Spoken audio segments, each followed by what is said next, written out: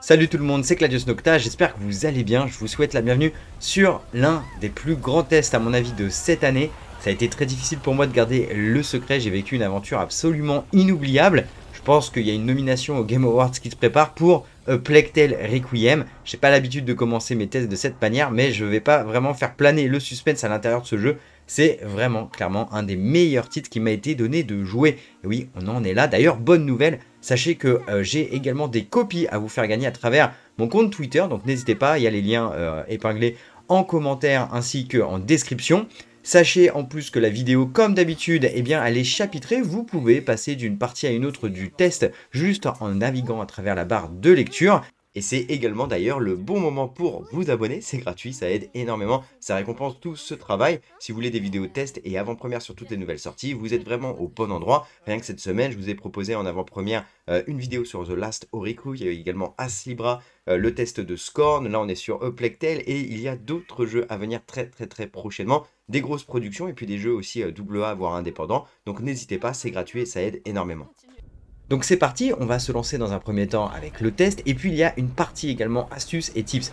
Euh, brièvement, je vous invite vraiment à les regarder, elles sont indispensables puisque quelque chose a été ajouté dans le jeu au niveau du gameplay. Et si vous faites les mauvais choix, eh ben, ça peut euh, du coup impacter le plaisir que le jeu peut vous procurer. Donc je vous invite vraiment à regarder la partie tips et astuces. Bref, concernant Uplectel Requiem, Cocorico c'est 100% français, ça se déroule en France, c'est développé par Asobo Studio, ils sont à Bordeaux et c'est édité par Focus Entertainment. Bref, super, des boîtes françaises, ça se déroule en France, que demande le peuple? Le prix de vente conseillé est de 60 euros, mais là aussi en commentaire vous trouverez euh, des liens pour Amazon car il y a une énorme promo en ce moment, donc faites-vous plaisir sur toutes les plateformes. Le jeu est disponible à partir du 18 octobre sur PS5, Xbox Series, PC et sur la Nintendo Switch via l'offre du cloud gaming. Au niveau du genre, on est sur un jeu qui propose des phases d'action, d'aventure, d'exploration, d'infiltration aussi énormément et de survie, mais c'est surtout comme sur un The Last of Us, la qualité de son écriture au niveau euh, du scénario et puis l'interprétation des doubleurs qui sont vraiment là pour mettre en avant le scénario, l'histoire qui est la véritable valeur ajoutée, la star du titre, plutôt que euh, justement un gameplay euh, aux petits oignons. Vous allez le voir quand même, ils ont peaufiné un petit peu la recette. Le test a été réalisé sur PlayStation 5, je n'ai eu absolument aucun bug critique ou quoi que ce soit qui m'a stoppé dans ma progression. Et enfin, c'est un jeu qui se joue uniquement euh, solo. On va parler maintenant d'ailleurs du gameplay. Alors tout d'abord, je pense la question qui vous brûle les lèvres, c'est la durée de vie. Combien de temps il a fallu euh, de mon côté pour le terminer Eh bien, en normal, il m'aura fallu 18 heures. Sachez que euh, je suis un joueur, pour ceux qui ne me connaissent pas, qui aime prendre mon temps. J'adore euh, de fois ouvrir le mode caméra, perdre quelques minutes à prendre des photos, etc. M'émerveiller, surtout quand il y a de très très beaux paysages. Par exemple, je marche, je sprint pas ni rien. Donc voilà, je pense que ça peut se terminer en moins de temps. Je ne serais pas surpris si quelqu'un vous dit qu'ils l'ont terminé en une quinzaine d'heures.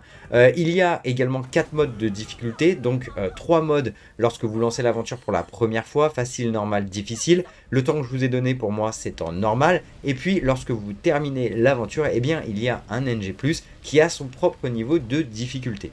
Au niveau du gameplay action infiltration, eh bien ce deuxième opus reprend énormément les codes du premier. Alors après, il y a des ajouts, il y a euh, un petit peu d'amélioration, c'est-à-dire que l'on retrouve par exemple des nouvelles recettes pour avoir des effets un petit peu plus sympas. La grosse nouveauté surtout c'est comment vous jouez avec Amicia, notre héroïne, puisqu'en fonction du type de gameplay que euh, vous avez, est-ce que vous êtes plutôt agressif, discret, est-ce que vous utilisez beaucoup l'alchimie, eh bien vous allez débloquer des compétences, ce sont tout simplement liées à votre manière de jouer. Si vous évitez de tuer n'importe qui, eh bien du coup vous n'aurez pas des points de compétences liés à l'agressivité. Par exemple, Amicia peut maintenant contre-attaquer, elle peut pousser des ennemis euh, en dehors des zones éclairées, puisque la seule défense contre les rats, ce sont les feux, et si par exemple un ennemi euh, se trouve dans cette zone-là, eh bien Amicia peut les pousser en dehors du feu si elle arrive par derrière pour justement qu'ils se fassent dévorer. Le bestiaire a également été élargi et puis on a également donc ces fameuses nouvelles recettes qui vont euh, disposer de nouveaux éléments. On va pouvoir les mélanger en plus avec tous nos accessoires,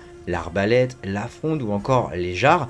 Bref, euh, tout ça c'est vraiment un petit peu les codes du premier, mais ça a été amélioré, peaufiné avec donc ce système de progression. La deuxième chose, c'est concernant l'évolution. Par contre, l'exploration euh, ou encore donc l'évolution dans le scénario, eh bien ça fonctionne de la même manière. On a des chapitres, on n'est pas du tout sur un open world ou des zones interconnectées. Là, une fois que vous progressez, vous ne pouvez pas revenir en arrière. C'est un petit peu similaire à un The Last of Us. D'ailleurs, le jeu va de temps en temps vous le dire, est-ce que euh, je me sens réellement prête à avancer ou pas? Bon, c'est une, manière de dire aux joueurs, est-ce que tu es sûr que tu veux euh, avancer parce que tu ne pourras plus revenir dans cette zone alors on pourrait avoir le sentiment malheureusement que c'est un petit peu cloisonné, etc. au niveau de l'exploration, et pourtant en fait les niveaux sont tellement bien faits, et puis cette histoire est tellement dingue qu'on a quand même un sentiment de curiosité, euh, du mystère lié à l'exploration, parce que vous allez pénétrer dans des endroits qui sont complètement dingues. Des fois je me suis vraiment senti comme un Nathan Drake ou un Indiana Jones parce que l'ambiance, l'ADA et puis du coup l'univers que j'avais devant mes yeux était complètement dingue. Je préfère largement ce type de jeu du coup qui euh, peut-être a des espaces plus limités mais euh, vraiment où à chaque fois que je passe d'une zone à une autre j'en prends plein la tronche plutôt que des open world un peu vides. Mais pour moi, la vedette de ce titre, eh bien, c'est l'ajout de l'arbalète. Alors, je vous donnerai des tips qui sont liés à ça, qui sont vraiment importants en fin de vidéo. Mais il est vrai pour moi que si vous faites les bons choix, eh bien ça rajoute une très très euh, bonne dimension au titre, un petit peu à la The Last of Us, on rajoute cet élément tactical shooter où on se sert des couvertures, etc. Alors à moindre échelle, ça reste une arbalète, on a très peu de munitions, en tout cas ça dépend, vous verrez en fonction justement des tips que je vais vous donner, car euh, bah, du coup c'est vrai que tous les ennemis sont quasiment euh, sensibles à l'arbalète, et du coup bah, l'aspect recette, crafting en continu, poser le jeu un petit peu pour utiliser les ressources, et un bien, je sais pas moi, notre fronde de feu, etc eh ben, on passe plus à côté et on utilise du coup cette arbalète qui pour le coup va augmenter nos stats liées à la violence. Et euh, bah, ça permet d'avoir un jeu plus agressif, euh, plus nerveux entre guillemets, mais encore une fois le gameplay reste quelque chose d'un peu plus secondaire sur un jeu tel que Up Encore une fois, c'est surtout une expérience liée au scénario, donc ne vous attendez pas à euh, voir l'impression de jouer à un Metal Gear Solid, on est vraiment à des années-lumière de ça, mais c'est juste pour vous dire que le gameplay a été peaufiné, amélioré si vous connaissez le 1. 1 d'ailleurs qui, euh, je précise, est quasi indispensable euh, vraiment euh, de le faire si vous ne l'avez pas fait, lié notamment à l'histoire, parce que vous risquez d'être un petit peu paumé, ça se passe directement après les événements du 1, et puis il y a beaucoup également de clins d'œil, de réflexion liés au lore. Donc voilà, c'est très important de le faire, mais en tout cas l'ajout de l'arbalète, c'est pour moi exactement ce qui manquait sur Plectel premier du nom, donc je suis très heureux qu'ils aient ajouté cela dans le titre. Ensuite, une nouvelle capacité pour Hugo, du coup, euh, qui va être beaucoup plus, on va dire, impactant dans le gameplay, euh, puisque voilà, ça va au-delà que euh, parce qu'il est petit, il peut se faufiler et ouvrir des portes. Et eh ben maintenant, il peut contrôler les rats. Donc, on va pouvoir contrôler une petite meute. on peut pas contrôler tous les rats dans une énorme zone, par exemple, et bah, aller bouffer les soldats qui ne sont pas protégés par les feux. Donc, il faudra mixer entre les gameplays, par exemple, pour éteindre les feux, les lanternes, etc., contrôler les rats pour les bouffer. vous avez toutes les recettes, etc. Donc, en fait, c'est un jeu au niveau du gameplay avec cet ajout pour Hugo qui va euh, appuyer sur votre créativité. Vous avez vraiment plein de manières différentes de faire les niveaux. Euh, comment vous voulez tuer les ennemis Est-ce que vous voulez même les tuer hein, Si vous voulez, vous n'êtes pas obligé de tuer tout le monde. Euh, et enfin, il a également un radar grâce à rats. Donc ça, c'est un ajout qui pour moi est pas ouf. Euh, je l'ai quasiment pas utilisé. Je trouve que ça, c'est quelque chose qui personnellement me flingue l'immersion. Moi, j'aime bien, euh, je suis très visuel. J'aime bien euh, être à fond dans mon jeu et regarder comme ça sur la droite est-ce que je vois un ennemi ou pas. Je suis vraiment dans la peau de mon personnage. Moi, tout ce qui est radar, les aigles dans Assassin's Creed qui vous sert de drone, etc., je suis pas du tout fan. Donc, ça, j'ai trouvé que c'était un ajout un peu dommage pour le gameplay parce que ça vient le rendre un petit peu trop facile. Pour terminer sur le gameplay, on retrouve des personnages secondaires ultra attachants et qui possèdent chacun une compétence complètement unique. Donc à différents moments de l'aventure, euh, on va avoir un personnage qui nous accompagne. Ça dépend vraiment euh, du scénario, c'est pas du tout un personnage que vous pouvez sélectionner euh, quand vous voulez. Et donc ils ont une compétence unique qui va vous ajouter une option supplémentaire pour causer des diversions, pour abattre des ennemis, pour ouvrir des passages par exemple. donc voilà, c'est quelque chose que l'on avait déjà dans le 1 et qu'on retrouve dans le 2. En résumé, le gameplay, on est vraiment sur la même recette du 1 qui a été améliorée, peaufinée avec des ajouts notables, surtout pour moi en tout cas ça a été vraiment euh, le contrôle des rats et euh, du coup l'arbalète qui m'a fait un peu kiffer le, titre en termes de gameplay, même si du coup on est vraiment sur quelque chose de secondaire. Hein. Encore une fois, je l'ai dit précédemment, mais la véritable expérience, le but de ce jeu, c'est pas de vous procurer un maximum d'émotions par un gameplay nerveux et aux petits oignons, non, c'est à travers son scénario, son histoire et notamment sa bande son. On va parler maintenant des graphismes.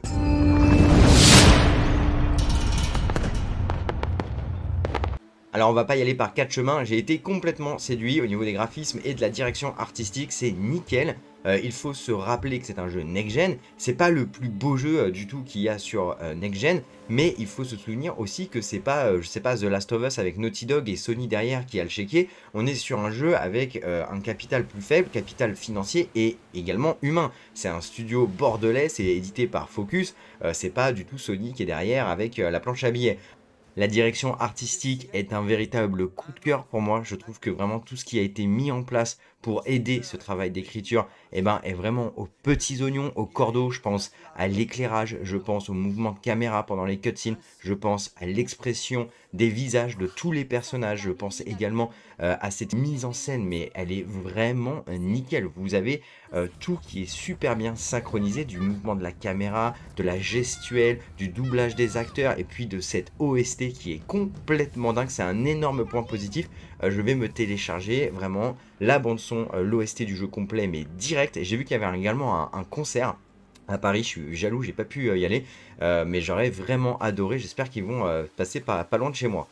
D'ailleurs, la réalisation et l'aspect technique du jeu est tellement bien faite que pour moi, ils ont réussi quelque chose qui, je pense, est quasi impossible à faire. C'est que immédiatement, avec l'absence de tout site historique de ce qu'on appelle des landmarks, c'est-à-dire par exemple la Tour Eiffel, etc., le joueur va savoir où il se trouve sans même que le jeu le lui dise. Et ça, pour moi, je pense que c'est un véritable exploit. Dès les premières secondes, quand vous allez voir ce doux soleil, ce ciel bleu dégagé, un paysage parfumé par des champs de lavande, et puis c'est accompagné d'un orchestre de cigales dans vos oreilles, bah vous allez immédiatement savoir que vous êtes en Provence. Et ça, je pense que techniquement parlant, euh, ça doit être très difficile à réaliser. Ensuite, sur l'aspect bug, crash, erreur, bah là, tampon de qualité, j'ai eu absolument zéro souci. Mon aventure s'est suivie euh, techniquement parlant très très bien. Après, émotionnellement, c'était autre chose. On en parlera sur l'histoire sans spoiler, vous inquiétez pas. Mais voilà, euh, d'un point de vue technique, une belle expérience, solide, aucun souci, des beaux graphismes. J'ai pas eu à choisir entre un mode performance ou euh, résolution au moment où j'ai réalisé mon test, pour rappel d'ailleurs sur PlayStation 5, et je vous confirme la prise en charge de euh, la DualSense avec euh, ses gâchettes, ses vibrations haptiques, etc. Donc ça c'est un point positif, ils en ont pris également avantage en tout cas sur PlayStation. On passe maintenant sur la partie scénario, vous inquiétez pas, il n'y a aucun spoiler dans ce chapitre. Je vais vous confier du coup mon opinion sur eh bien, le travail d'écriture, le rythme et les émotions que j'ai pu ressentir tout d'abord, le travail d'écriture est phénoménal. Ceux qui avaient beaucoup de questions euh, sur le 1, qui euh, justement avaient ce sentiment un petit peu de frustration parce que euh, on n'avait pas beaucoup d'explications par rapport à tout ce qui se passait. Là, dans le 2, on a énormément de révélations. Ça aurait pu être même le nom du jeu limite, hein, pour être très honnête. après, il y a encore des zones d'ombre, mais c'est vrai qu'on a beaucoup plus d'informations sur le lore du titre. Ensuite, la deuxième chose, c'est concernant le rythme. Ça, c'est quelque chose que pour moi, Eplectel fait mieux que The Last of Us. Ce n'est pas une attaque, c'est juste une critique par rapport à The Last of Us. Surtout le second, le premier, j'avais pas eu ce problème à ce point-là. C'est, attention, une franchise que j'aime beaucoup, mais le problème que j'avais sur le 2, c'est que émotionnellement parlant, j'étais fatigué sur le 2. C'est-à-dire que c'est tellement négatif les émotions qui nous sont euh, données de ressentir sur The Last of Us Part 2, c'est euh, la douleur, la solitude, le désarroi, et le jeu ne nous laisse pas réellement respirer. Alors que sur le 1, il y avait quand même un petit peu plus d'espace euh, pour The Last of Us. Sur le 2, j'ai trouvé que vraiment mes sessions de, jeu quand je travaillais sur le test, eh ben, elles étaient très émotionnellement parlant fatigantes. C'est-à-dire que je ressortais un petit peu de ma session j'étais pas au top et euh, pour le coup le jeu ne, me laissait jamais respirer, reprendre un petit peu euh, de plaisir en termes de, d'émotion, de, de, sensation, de positivité. Là sur Uplectel, et eh ben justement le jeu il arrive à espacer euh, ses émotions, on n'est pas constamment comme ça à broyer du noir, on va avoir des petites phases peut-être un petit peu courtes de temps à autre mais qui sont quand même bien présentes pour justement apporter un peu d'amour, de joie, euh, de, découverte, euh, d'enfance également à travers les yeux d'Hugo, etc. De la nostalgie euh, justement de notre enfance. Et ça fait du bien. Et en ce sens, eh bien, c'est vraiment quelque chose qui pour moi, au niveau du rythme sur Uplectel, eh bien, est mieux travaillé que sur The Last of Us pour vous donner un petit élément de comparaison. Ensuite, le troisième point, c'est le travail d'écriture toujours aussi ultra quali. Les doubleurs, je l'ai déjà dit deux trois fois, mais c'est vraiment top. La version française est excellente et le travail d'écriture, les dialogues, eh ben c'est vraiment nickel. Donc vraiment, je trouve que le scénario qui est l'élément le plus important sur ce genre de jeu, hein, on y joue, c'est pas pour le gameplay, on va pas se mentir, et eh ben c'est une réussite totale. Vous allez ressentir énormément d'émotions à travers cette expérience du début à la fin. Croyez-moi, euh, vous allez avoir un véritable ascenseur émotionnel et quand vous avez voulez terminer votre aventure, et eh ben c'est ce genre de jeu, moi c'est pour ça que je les adore, où vous êtes comme ça devant votre écran et bah, vous ne parlez pas, vous, êtes juste en train de vous dire que vous avez vécu un moment vidéoludique complètement dingue. Et c'est pour ça aussi bah, justement qu'on joue aux jeux vidéo. Donc bravo aux équipes vraiment du studio et de l'éditeur qui ont fait un super boulot sur ce niveau-là. On passe maintenant sur les petits tips que je voulais vous donner, surtout si vous voulez du gameplay un peu plus agressif, vous n'avez pas envie forcément de refaire bah, un petit peu ce coup des recettes, etc., des puzzle solving pour tuer vos ennemis euh, avec euh, les mécaniques de recettes, etc. Je vous invite vraiment à écouter ces différents tips et puis ensuite on va euh, terminer sur la conclusion par rapport au test. Donc la première astuce que je veux vous donner, c'est de déverrouiller dès le début la première compétence que vous voulez se trouve dans la euh, catégorie instruments et vous devez déverrouiller les outils de recyclage. En fait, ça permet de gagner des pièces supplémentaires en recyclant les surplus de jarres, couteaux et carreaux d'arbalète que vous allez trouver. Ces pièces vont vous être utiles aux établis pour améliorer votre équipement. Le deuxième tuyau, c'est de conserver vos couteaux pour premièrement déverrouiller les établis secrets euh, qui vous donneront des outils et des pièces pour améliorer votre équipement. Donc en fait, euh, sur les zones au niveau de l'exploration, pour récompenser le joueur, eh bien il y a, des il y a deux types d'établis. Il y a les établis que euh, vous allez trouver sur le chemin principal et vous avez des établis planqués que vous pouvez uniquement déverrouiller avec un couteau. Donc il faut toujours en avoir un en stock parce qu'à l'intérieur de cet établi, quand vous l'ouvrez, au-delà de pouvoir améliorer votre équipement, il y a des pièces euh, donc, euh, comme ressources et également des outils. Et en fait, il vous faut des outils et des pièces pour justement monter le niveau de votre équipement. Donc c'est vraiment hyper important pour le coup euh, de toujours conserver un couteau sur vous et donc de, en troisième type, ne pas monter les améliorations qui sont liées à la catégorie attirail. Parce que elles vous permettent justement de stocker plus de jarres, plus de couteaux. Ce que nous on recherche à faire, c'est de les recycler. Donc juste vous conservez toujours un couteau. Dès que vous en trouvez d'autres, vous gagnez des pièces supplémentaires. Et euh, bah, comme vous en avez toujours un, vous pourrez toujours à chaque fois ouvrir les établis secrets que vous avez trouvés.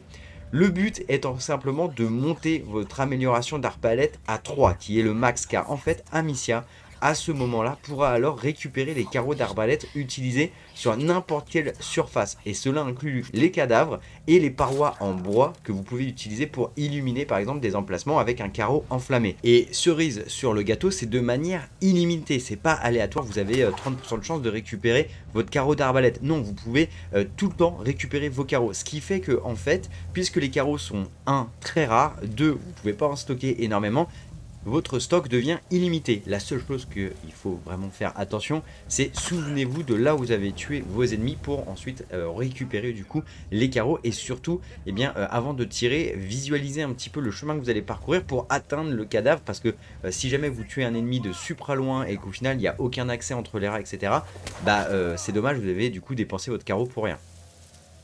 Donc c'est très important ce que je viens de vous dire pour plusieurs raisons. Premièrement, les ressources sont rares surtout les outils. Les outils, ce sont vraiment des objets que vous allez trouver très occasionnellement et il va falloir faire des choix au niveau des améliorations que vous voulez, surtout si vous n'explorez pas toutes les zones à 100% à chaque fois ou que vous utilisez vos couteaux et que malheureusement, eh bien, les établis secrets que vous allez trouver, vous n'allez pas pouvoir les ouvrir. Donc c'est frustrant parce que vous avez fait le travail au niveau de l'exploration, résoudre un petit peu euh, l'équation pour pouvoir atteindre l'établi. Vous arrivez sur place et là, ah bah mince, j'ai pas de couteau, c'est dommage. Euh, et donc, et si vous voulez pas avoir le même gameplay que le 1 où il faut constamment du coup crafter en ralentissant le temps, et euh, du coup utiliser différents types de munitions. En plus, les compétences que vous pouvez justement obtenir ne sont pas visibles. Sur l'établi à travers du coup les améliorations. C'est à dire que pour voir l'amélioration niveau 2 et 3, il faut déjà améliorer le niveau 1. Et donc pour le carreau d'arbalète, je me suis douté que forcément il y aurait des améliorations liées à ça parce que ça s'y apprêtait très très bien. Et du coup, je suis content de ne pas m'être vautré euh, parce que du coup, ça m'a permis d'avoir ce gameplay un peu plus nerveux très rapidement euh, dans l'aventure, de pouvoir justement abuser de ces carreaux d'arbalète, alors que sinon, je suis constamment dans euh, la résolution un petit peu de puzzle, à devoir utiliser différents types de matériaux. Puis les améliorations, les autres sont pas forcément intéressantes, rendre l'affront plus silencieux, on avait déjà ça dans le 1, pouvoir par exemple stocker plus de ressources pour le craft, super. Pouvoir stocker plus également de, couteaux ou de carreaux d'arbalète. Je veux dire, ça m'est pas très utile parce qu'au final, le carreau d'arbalète, il tue quasiment tout le monde. Euh, et il est de quantité illimitée. Donc l'amélioration de la taille de mon inventaire pour les ressources ou euh, pour du coup les couteaux, etc., ça m'intéresse pas forcément. En conclusion, eh bien, vous le savez, sur cette chaîne, il n'y a pas de notes. Contrairement à ce que disent beaucoup, moi je trouve que le rapport qualité-prix est au cœur du débat et que c'est pas un faux sujet. Tous mes tests reposent là-dessus. Donc je continue. Eh bien, pour moi, est-ce que euh, l'achat Day One de Uplectel Requiem est un bon investissement? La réponse est oui, absolument. Il n'y a que deux catégories de joueurs auxquels je ne recommanderais pas l'achat de Plague Tale Requiem. La première catégorie, ce sont les joueurs qui n'ont pas fait le premier, tout simplement parce que euh, au niveau de la compréhension des euh, relations entre les personnages, au niveau des références également de tout ce qui s'est déroulé dans le premier jeu, vous allez passer euh, à côté de beaucoup d'éléments et vous allez du coup pas forcément en profiter pleinement. Donc n'hésitez pas à prendre le 1, il y a sûrement des promos, etc. Déjà le 2, avec les liens que je vous ai laissés, il y a vraiment des super promos, donc c'est pourquoi pas le moment de faire un bundle. Et euh, la deuxième catégorie de joueurs auxquels je ne le recommande pas, c'est pour celles et ceux qui attendent un gameplay euh, vraiment ultra nerveux, où c'est vraiment le cœur du sujet au niveau du, titre, au niveau de sa proposition. Là, c'est vraiment une expérience vidéoludique scénarisée, où euh, ce qui est mis en avant, c'est surtout le travail de l'écriture et son scénario. Voilà, j'espère que cette vidéo test vous a plu. N'hésitez pas à vous abonner si vous voulez des vidéos test et avant-première. Ça m'a fait très plaisir de parler de Plague Requiem. Je vous embrasse. Ciao